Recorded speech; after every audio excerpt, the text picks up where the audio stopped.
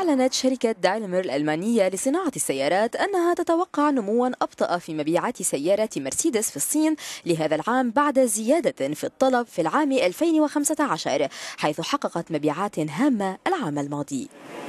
الشركة كانت قد أشارت إلى أن أرباح السهم الواحد في العام الماضي بلغت 3.25 يورو وهي أعلى نسبة أرباح في تاريخها.